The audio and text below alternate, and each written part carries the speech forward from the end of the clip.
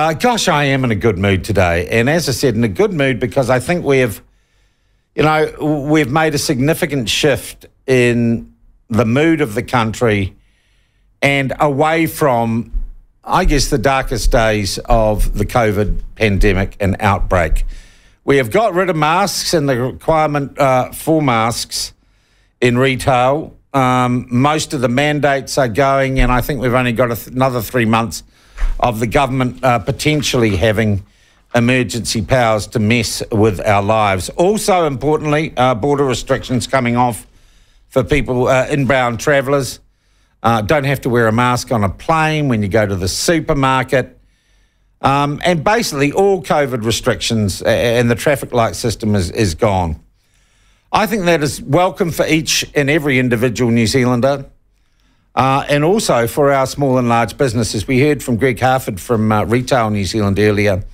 But one organisation that I spoke to an awful lot actually in the early days of, of the COVID pandemic and our response to it was Business New Zealand. It's the largest uh, business lobby organisation uh, or association in the country, and it represents many, many uh, of the country's biggest businesses.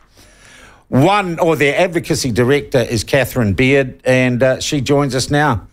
Uh, Catherine, lovely to have you with us, man. I, I don't know about you. It feels like, you know, the switch maybe has been flicked here with yesterday's announcement. Oh, yeah, absolutely. Um, very, very welcome move and one we've been advocating for for some time. So, yes, I think um, it will be hopefully back back to normal or a new normal. And um, certainly for the retail sector, you know, I think it was really um, really inconsistently applied set of rules. You know, it was a bit bizarre that you could go into a crowded uh, restaurant or bar or even sports stadium, but you couldn't go into a retail store without a mask. So, you know, I think when the rules kind of don't, you know, don't really make sense and they're not consistent, then you've got to really look at, you know, why are you doing it? So, yeah, that, it'll be a very good day for retailers. Mm.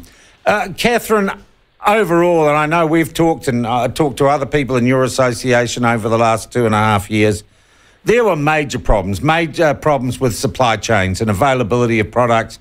And, and of course, we've still got a problem with staffing, etc. Are those structural global problems for business, like the supply chain, are they starting to come right now?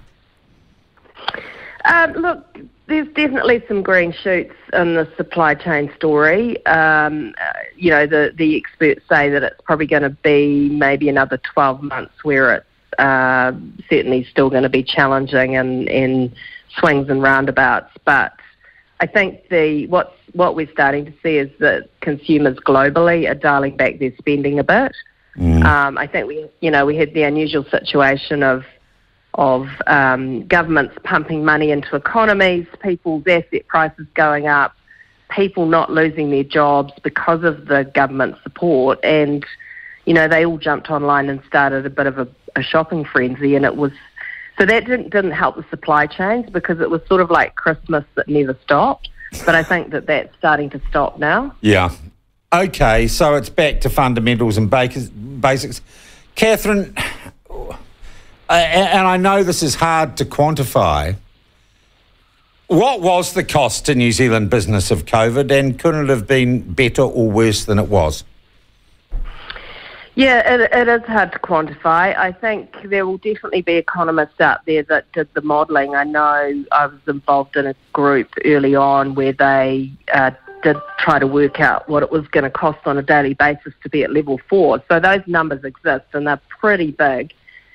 Um, and, I, and I think the cost really is in the in the extra debt that we've taken on as a country through you know printing money essentially that we have to pay back, and of course that's feeding into inflation. So, you know, I think from our point of view, I think it would be great if there was an independent review of how COVID was handled.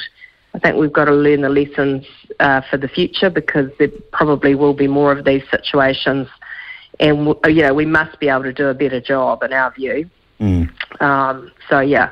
But it wasn't completely useless, our response, was it? And I think back, uh, particularly, Catherine, to the earliest days, we seem to have some more unity of purpose and some acceptance of some of the quite draconian measures that individuals and businesses put up with. And I guess in some ways, I look back and reflect and say, wasn't it nice when we were all kind of pulling together? But that evaporated after a while, didn't it?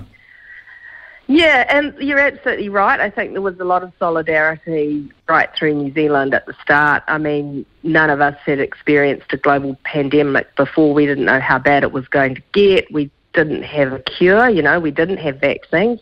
I think they took about a year and a half to, to hit the hit the street. So yeah, it was quite a sort of scary time, and you know, being an island in the middle of nowhere, it felt like for once in our life we had a a natural moat and a competitive advantage. So yeah, it was definitely definitely a time of solidarity. But I think yeah, and and it's easy to sort of critique in hindsight, isn't it?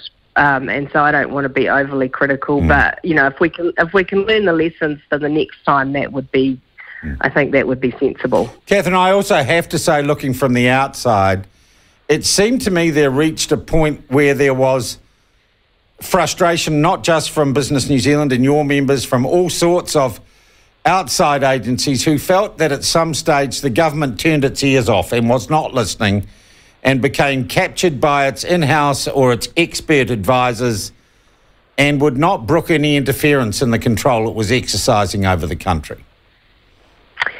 Yeah, and look, I, I think there's a little bit of a tendency uh, to, to, for this government, particularly to go for sort of uh, centralised approaches to things. And, and I think, you know, what we were sort of trying to convey was, look, actually, you've got to trust the business community. You know, they're highly incentivised to keep their people safe because they want to keep operating yeah. because, you know, their business depends on it. So, and you know, we are good at, at doing things like getting PPE gear in. Like, you know, we could we got the masks in uh, quickly you know, we could, you know, business people have networks. Yeah.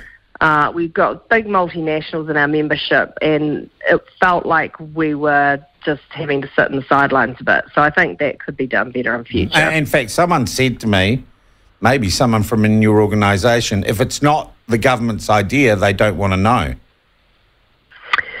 Yeah, and look, I, I think it's um, it's just devolving responsibility, even if it comes to look, you know, how how do you roll out the vaccines? Uh, you know, use the pharmacies. Use. Uh, we had a lot of big businesses that could vaccinate their workforces. They do it with the flu. You know, don't you don't all have to go to a a tiny suite of options. So, and you know, with um, Māori healthcare as well, you know, use the people in the community that um, know who they're trying to vaccinate and who trust them. Just roll it out. So I think, yeah, trying to kind of hold on to things um, centrally probably is not the most efficient way to do it. All right, for you personally, what's the nicest thing about yesterday's announcement and the lifting of these restrictions? Oh, look, uh, just not having to, to wear a mask is going to be uh, fantastic. And, and I think also that hopefully New Zealand's sending a better signal, even for tourism, that it's open for business and it's not going to be such a hassle to get here, and you know you're not going to have to jump through too many hoops. Yeah. Uh, well, Catherine, I have to say your organisation, I think, did sterling work throughout. Um, well, what's the crisis period of uh, the crisis period of uh, COVID nineteen? I thank you very much indeed for joining us and for your time this morning. Thank you. Cheers. Uh, Catherine Beard, there, the director of advocacy for Business New Zealand. I don't know if anyone will write a book about COVID 19. Um, I think there's a huge inclination when you've been through something like this to put it behind you and forget about it, to not talk about the war, as it were, and to get on or get life uh, back to normal. Um, and I guess that's how I'm feeling right now. But boy, boy, we've been through some stuff, haven't we?